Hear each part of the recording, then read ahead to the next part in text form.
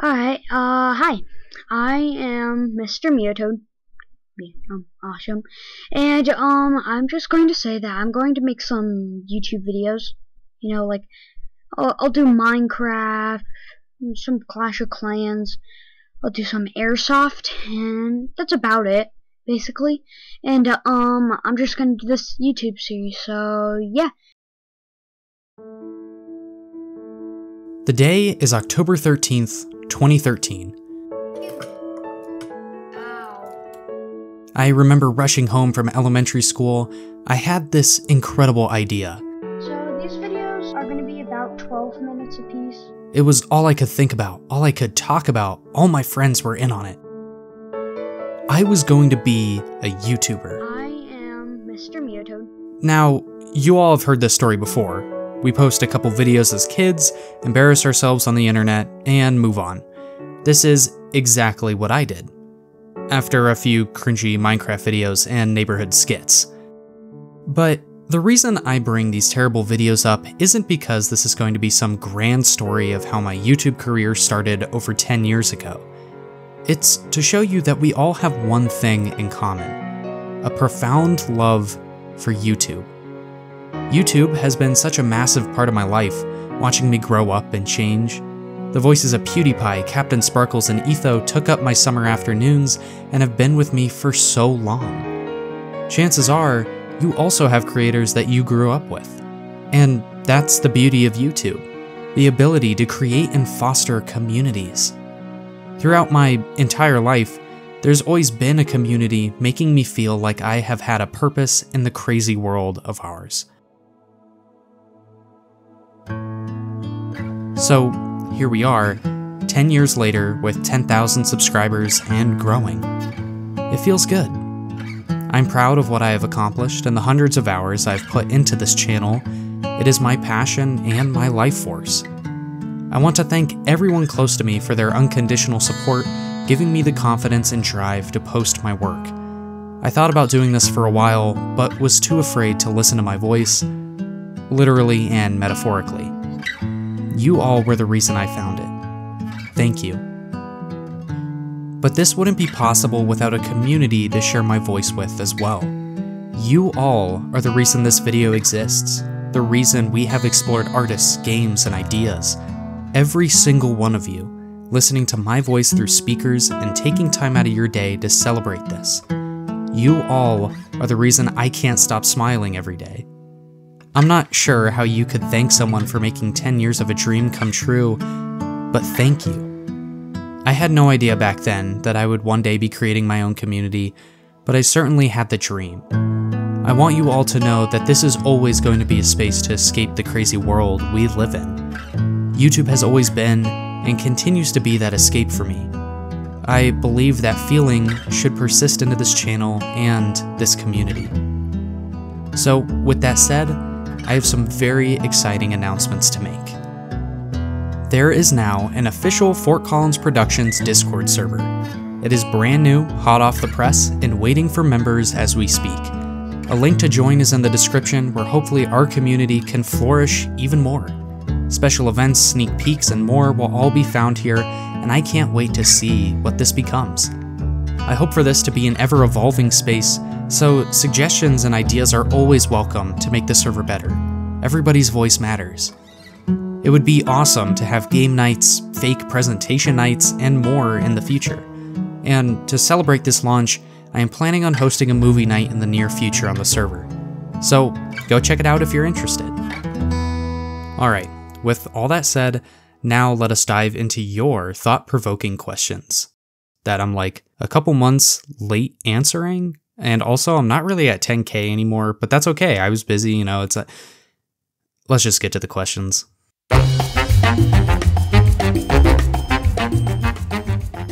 Why is that your profile picture? To be honest, this photo wasn't chosen for some metaphorical reason or anything complex, but it was taken during a time of my life where I felt quite lost in my overall purpose. Photography was my escape from that, and this photo was one of my favorites that I ever took. I think I'm gonna go steal that sign someday. What's really funny about it is that when I first decided to post onto YouTube, the profile picture was kind of just I don't know, a place marker for until I eventually made something better. And it ended up morphing into this thing where I actually liked it more than anything else I would create. And the sign serves as a nice symbol for the channel, and it reminds me a lot of home. So it worked out pretty nicely. I think in general, um, it was very unexpected to be using it for a channel that exploded out of nowhere that I definitely did not see coming at all, but still pretty cool. What has been a moment that has been most meaningful to you? Not really asking about numbers here. I'm asking about like a moment in making it, watching your videos that really connected you with your craft. It's difficult to name an exact moment over this crazy journey where things just suddenly clicked. But I think one moment in the process that always resonates with me is creating the title sequence for the video. From the first video I made about Green Day, my favorite part about these videos is editing a bizarre and stylistic title sequence. I think when I see those words, Fort Collins Productions Presents, on my editing screen, it just reminds me how much I love doing this. And I think what makes this more impactful is then visiting my videos later. I revisit my Worms on Concrete video all the time because I love the intro to that video so much even if the video was definitely flawed. Why did you name your channel Fort Collins Productions? I named my channel Fort Collins Productions back in 2021. Originally, the channel was going to serve as a host for a mockumentary me and my friends were making. For it, I wanted to create a fake production studio that would play during the title sequence of said mockumentary. Later on, I would use the channel to publish some family travel videos and little projects of mine here and there, really when I was learning the basics of video editing and, I don't know, having little keepsakes. When I made the Green Day video, it was originally just a fun thing for friends and family. In fact, I had a lot of people in my life that were wondering a little bit why I was so obsessed with Green Day, and I decided to put that into a video to show them why they should really care about Green Day more and why I love them so much. What I didn't expect is that it blew up out of nowhere. It was the first video essay I ever actually posted. I decided maybe I should keep writing video essays since I always loved watching them so much and had this drive to write my own. And here we are with a bizarre name from an abandoned project and a completely new identity. If you had told me back then that this would be what the channel was three years later, I never would have believed you. Any merch ideas for the channel? Maybe. They're in process right now. I've been working with some really talented artist friends of mine, uh, getting them created. I have no idea when it'll be ready, but it will be coming in the future. Do know that. If YouTube doesn't work out long term, what would your ideal job be? Well, as some of you know, I'm actually in college right now. I'm currently getting two degrees um, one is in general psych, and the other is in trumpet performance. So I'm getting these degrees to eventually become a therapist and a freelance musician at the same time. It would be pretty cool to combine the two and provide therapy services towards musicians specifically, kind of like sports psychologists. There's a lot we have to go through in music school, especially, that much of the world doesn't really know about. Who knows, maybe that's a video for someday. Which of your videos is your favorite, and which of them was the most difficult to make? Also, I'm a huge fan, congrats on 10k. Thank you so much. It is difficult to choose a favorite since it seems to change with me every other day, which I guess is a good thing. The video I am most proud of right now is Hawaii Part 2.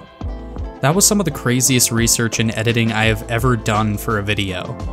I still want to revisit that style, but with a new topic, because I believe the worlds of analog and video essays are just waiting to be explored.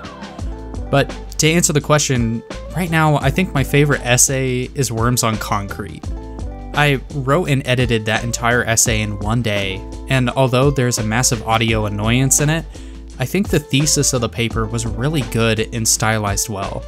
I'm incredibly nostalgic for that day when I made it, and it was the last essay I made before my channel really exploded in popularity.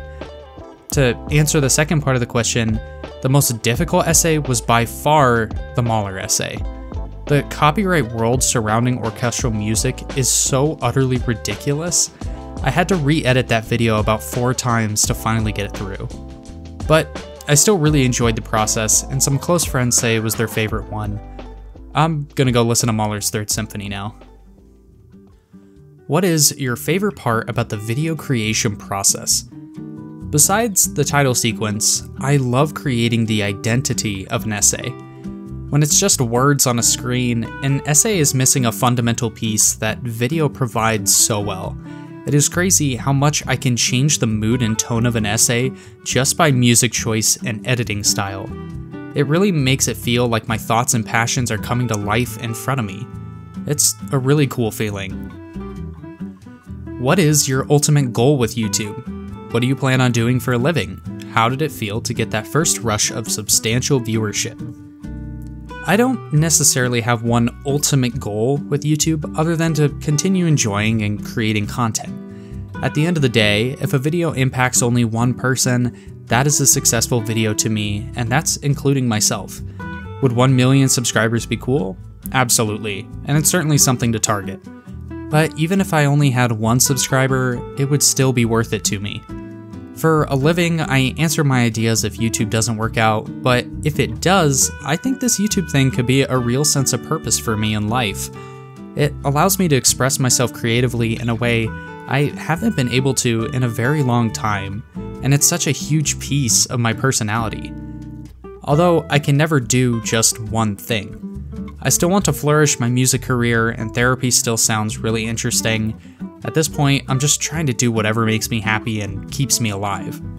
When I first got that rush of substantial viewership, I definitely felt like I had found one of my purposes in life.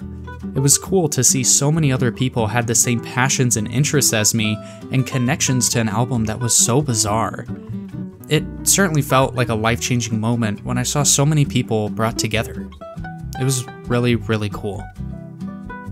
Let me say, with that first rush of substantial viewership, or just in general, because it happens, you know, off and on right now with the uh, where the channel is at. I think a big part of it is trying to separate my own emotional connection to numbers, you know, because if you do that, you end up kind of getting really disappointed because YouTube, the algorithm works in very mysterious ways and nobody really knows how it works exactly. And so when you get too attached to these numbers, it really can decide your mood for the day. I've had to work very, very hard, and I'm still working on it to separate the two. It's very difficult. Usually these days, when a video is starting to do well, I actually try and find things to distract myself so I'm not just constantly refreshing over and over.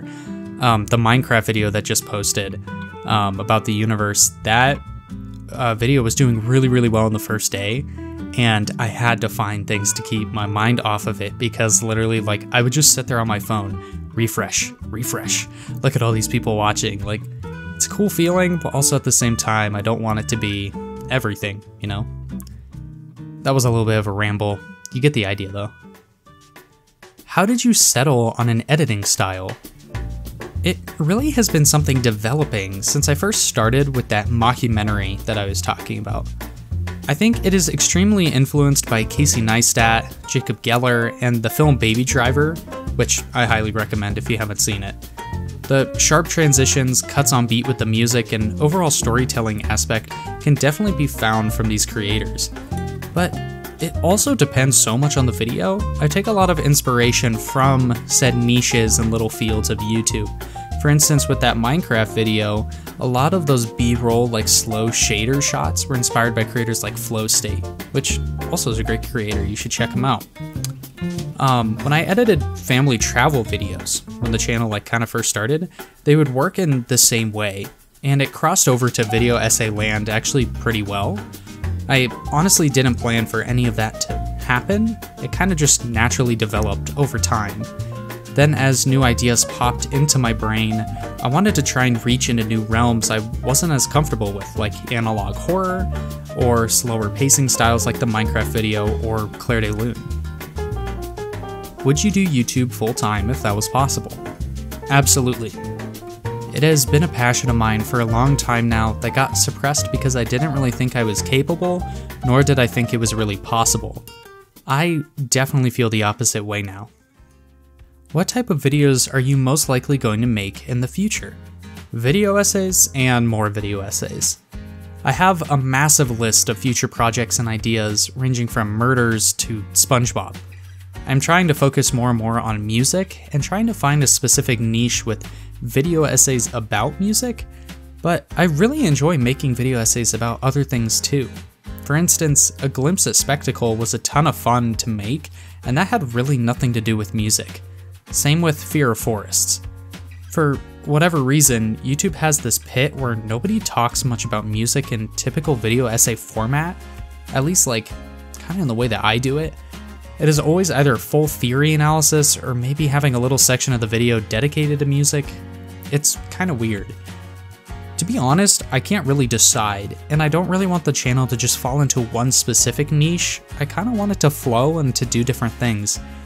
That means that it'll be a little bit difficult growing on YouTube and I won't get a super consistent audience at first, but it kind of creates this cult following and more of a sense of community eventually, and that's kind of what I want to do.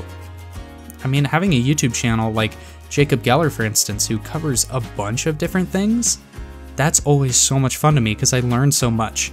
Emplemon is another great example. Is there any larger YouTubers in particular you think it would be cool to collaborate with? There are tons, honestly. I love the work that Jacob Geller does, and he would definitely be my first choice.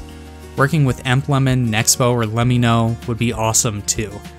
Funny enough, I am also massively into Minecraft YouTube, still, and have always dreamed about working with the people on the Hermitcraft server. Beyond Minecraft, there are creators that always inspire me. Mumbo Jumbo's personal film channel is absolutely incredible, and the Imp and Skizz podcast has taught me so much about how to share your passions with the world. To work with any of them would be an incredible learning experience and also make little kid me so happy. What has got you hooked on doing video essays in the first place? Jacob Geller's video, The Quiet Sadness of Super Mario Galaxy, is one of the first video essays I ever watched, Ever since then, I have been obsessed with them and their emotional impact. It is such a cool way to teach people about the world and share your ideas. Like the Lemmino video about Cicada 3301 is one of the best pieces of media I have ever seen. That felt like a major golden age for YouTube video essays, and it really hooked me into the genre. At the end of the day, I have always wanted to tell stories, and I get a lot of fun out of it. I took a public speaking class in college and loved it way more than I thought. And that actually helped influence a lot of what I do in writing my video essays and wanting to make them. Is that I just have this knack for it that I didn't really expect to have. There's just nothing better than a good video essay, man. Nothing better. What is some advice you would have for people interested in making their own video essays? I have ideas for things I'd like to try and talk about sometimes, but I just don't know how to start. Oh man, I love this question. Thank you for asking it. With this video playing still, go open a document in Word or Docs, or even a note tab on your phone. No, seriously, go do it. You can pause the video if you need to. Now, literally write a sentence for something you want to talk about, something that you love to your core and wish more people knew about. And after you write your topic idea, just leave it for a bit. The most difficult part for me to start writing video essays was how I kept creating obstacles that kept me from even signing up for the race. It was thoughts like, oh, I don't like the sound of my voice, and nobody would want to hear what I have to say about this, and writing is a lot of work, and I don't have time for it. It is so much easier creating these obstacles than just pushing through them. It is a natural human thing to do, and I promise you, you aren't the only one with these thoughts. I do it all the time. But, most of the time in actuality, these obstacles are tiny. If it is something you really want to do, there is nothing holding you back. There are no standards you have to meet except your own. If you have pressure about writing for an audience, try and think of it like you're writing a speech for your best friend on why they should love something that you love. That's what I did with the Green Day video, and look what happened. You is half the title of this website. Don't ever forget how important that is. And if you are really worried about it, email me a copy so I can tell you how fantastic it is. You got this, dude. Now go create it. In the description, there's a link to a podcast episode that really helped me motivate myself in the content creation sphere. Check it out if you're interested.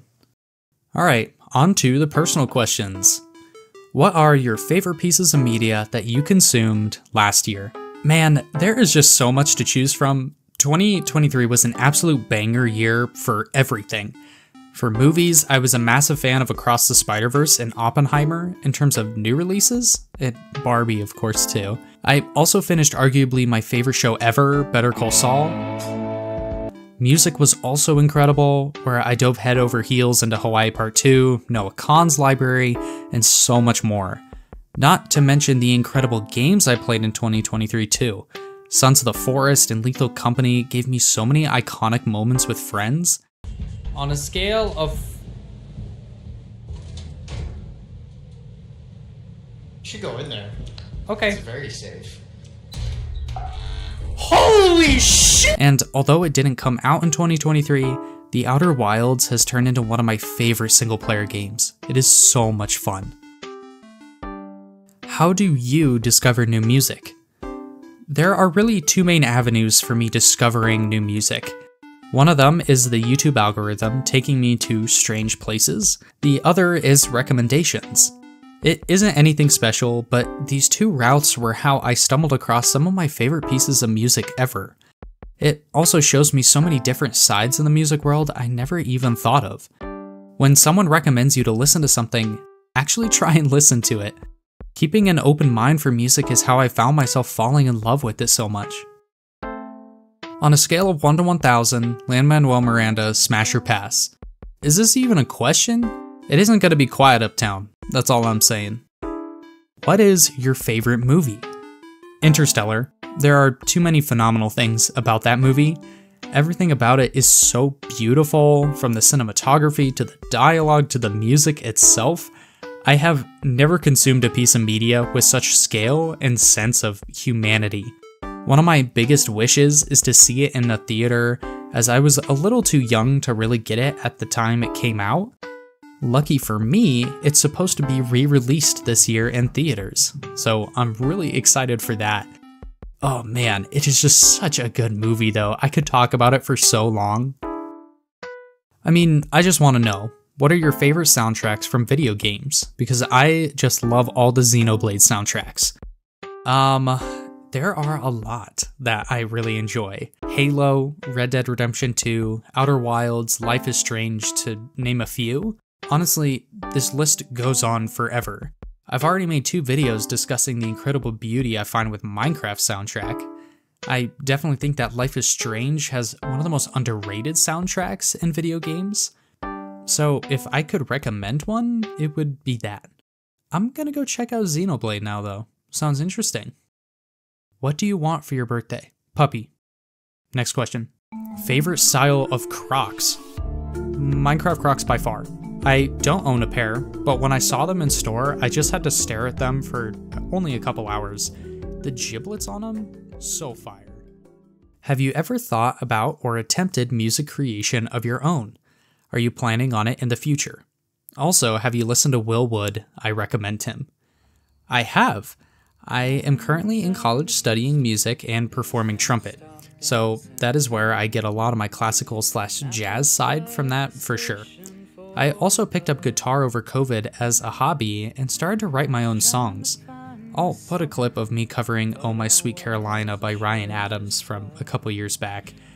I want to get back into writing songs, just haven't made the time for it as I found stronger passion for other things. Also, I'll check out Will Wood. Lil Baby or Da Baby? Da Baby Car. Any restaurants, coffee shops, etc. in the Fort Collins area you want to shout out or recommend. Oh man, I'll be basic for this, but Alley Cat is always a must for that classic cafe vibe. I also really like Lima and Mugs as well. Mugs in Old Town is such a nice place to hang out with friends on their patio. If you're willing to drive, Inkwell and Brew up in Estes Park is by far the best coffee shop I've ever been to in terms of aesthetic. They have these beautiful windows where you can see the mountains, and it's so cozy, and this amazing Hemingway quote like painted on the ceiling. It's super cool. What's some of your favorite songs slash albums slash artists recently? Would love to hear more about your music taste. Recently, I would say Noah Kahan's Cape Elizabeth, Beyonce's Cowboy Carter, Zac Brown Band's You Get What You Give, and Childish Gambino's Because the Internet albums have been some of my top listens lately. Um, not gonna lie though, it literally changes every day. I try my best to listen to just about everything, not only from a YouTube standpoint and discovering new possible content, but also catching up on sides of entertainment I'm forgetting about. Like Beyonce, I barely ever listen to her, but this new album is so fantastic. In general, my top genres are usually folk slash country, punk rock, hip hop, and classical. As you can tell though, I listen to kinda every hemisphere of music, so always open to recommendations. And on that Discord server, there's actually a channel for said music recommendations. I would love more. How do you feel about Brazilian music? MPB, samba, I'm gonna mispronounce this, pagode? Brazilian rock, bossa nova, and the like. I have a decent amount of experience playing in bossa nova style with trumpet and jazz, but other than that, I have not listened to it much. Girl from Ipanema is one of my personal favorite jazz pieces, though, especially when it is in Portuguese. I really liked what Frank Sinatra did with it, and his cover was what introduced me to it in the first place. Brazilian rock sounds interesting. I'm listening to it right now while typing this. It is not what I was expecting. It seems to be a lot more chill than American rock music. I kinda like it. What is your musical timeline? What did your parents listen to? What do you listen to as you were growing up? I grew up listening to a lot of 90s music. Green Day, Weezer, Dave Matthews Band, Garth Brooks, just to name a few. The first time I really started to reach out beyond what they were listening to was listening through Imagine Dragons' Night Visions album. I still have so much nostalgia for it to this day. I was in this weird EDM slash rock slash country vibe for a while. Wasn't really until college when I really started to branch out more, listening to folk music, hip hop, classical, and just about everything else. What is one of your least favorite pieces of music? I don't have very many, but I am really not a fan of recent Maroon 5 in general. Their last decent album, V, was subpar, and they legit peaked with their debut album and Songs About Jane. Their song Memories makes me want to break things, especially considering it sounds like a terrible take on Pachelbel's canon for the entirety of its melodic structure. Of all the people to try and quote wedding music, fucking Adam Levine? Who are your favorite YouTubers? My YouTube taste is almost as uncoordinated as my music taste. The two main genres I watch are Minecraft videos and video essays, so we'll go with those two. I've been watching Hermitcraft for a very long time now and truly love all of them so much. Etho has gotta be my favorite, especially because I've been watching his content since I was like 10. I also love watching Mumbo, Grian, and B-Dubs as well. For video essays though, the big three for me are Jacob Geller, Emplemon, and Lemmino. They have inspired my content so much, and the way that they craft their writing and videos is just incredible. Also, honorable mention would be Brandon Perna and Tom Grossi for giving me plenty of football content and laughs. Alright, on to future ideas. Do you plan on bringing back the What I Am Listening to This Week series? I'm back and forth on it. I think I might revamp the idea into something that isn't quite as short, just because I do not vibe with editing short form content. I want to tell stories and not just give you an opinion in 60 seconds or less. As you can tell from the length of this video, I am quite bad at doing that. Besides that though, I really do want to share miniature breakdowns of what I'm listening to. A good number of people seem to enjoy them. I think I might get back into it over some capacity in the summer. I guess we'll see. And the other thing too is that YouTube shorts are dumb and are kind of killing YouTube. Does someone I'll be testing my wrist to? Okay, let's go ahead and knock on the door. Bessie McBoo, are you there? Yes, I'm here, sweetie. MatPat made a really, really good video about it not too long ago. I highly recommend it. I'll put it in the description if I remember. Since you have already talked about Miracle Musical, are you going to do a video about Tally Hall or their side projects? Ignoring Hawaii Part 2, obviously. I have a feeling I will, just not sure when. Their story goes so deep and it is a lot of fun diving into it, but I don't necessarily want my channel to be oriented around them either. Their music is such a breath of fresh air though, so that may entice me to go back just for that reason alone. I'm really glad so many people enjoy them though. It's really, really cool how much of a cult following they have. Do you plan on doing more music or album breakdowns like that of Hawaii Part 2? I do. I have a number of projects in the works similar to the idea of Hawaii Part 2, some darker than others. In general, though, it is finding a deep enough rabbit hole that it would make a great video that is the hard part. Some musical mysteries are just talked about way too much or have little to offer besides the musician went missing, ooh. I have something coming out in the works though that I think is really gonna knock your socks off.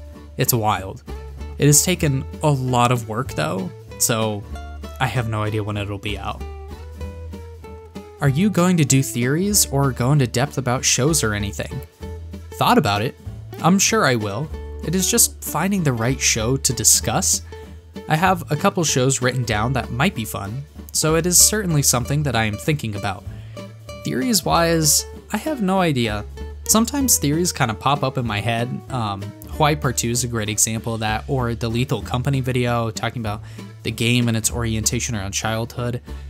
It really just depends. Um, kind of depends on the topic. Most of the time, I don't really seek out having a set theory until it kind of reveals itself to me in research. Will you do a video about Kendrick Lamar's discography and the story he conveys in his albums? Amazing suggestion, and I have no idea. I listen to Lamar, but haven't listened to his albums in any sort of order yet. I absolutely need to though, because from what I've heard, he's done some incredible things with his music. So, to answer your question, maybe? I might cover the whole Drake Kendrick Lamar thing that's going on right now eventually, because it's really, really funny, but we'll see.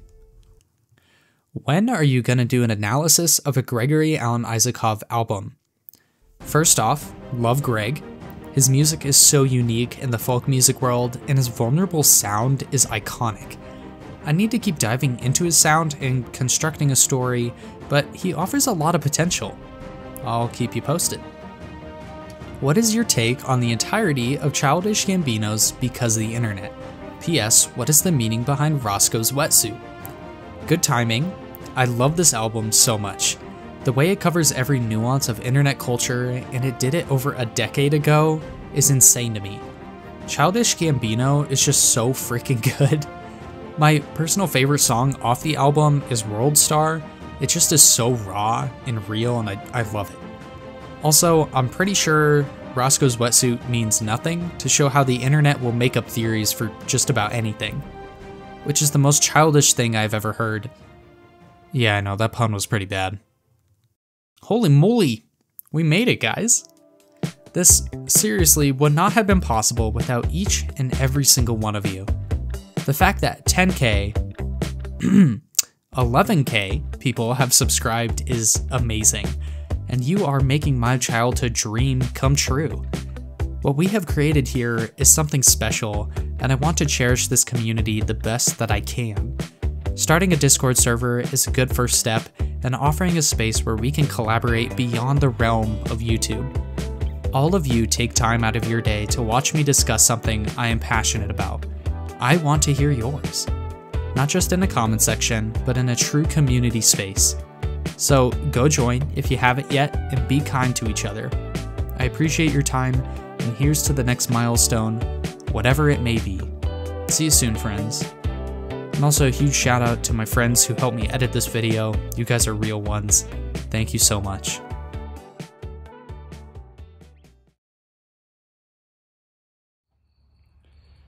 I went down to Houston and I stopped in San Antonio. And I passed up the station for the bus. And I was trying to find me something, but I wasn't sure just what. And I ended up with pockets full of dust. And I went down to Cleveland. That's where I went insane. I bought a borrowed suit and learned to dance. I was spending money like the way it likes to rain. Man, I ended up with pockets full of cane. Oh, my sweet Carolina, what compels me to go? Oh, my sweet disposition.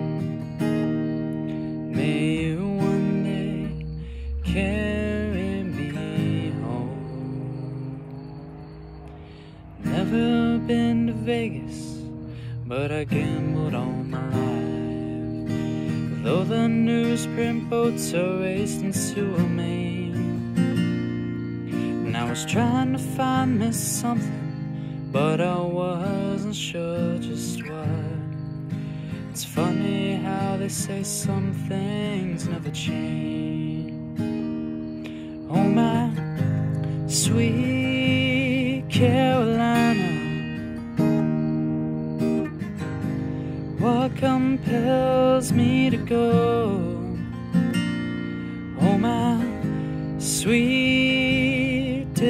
disposition, may you one day carry me home. Out here in the city, seems like things are closing in. The sunset's just my light bulb burning out. And I miss Kentucky, and I miss my family, and all the sweetest winds that blow across the south. Oh, my sweet Carolina, what compels me to go?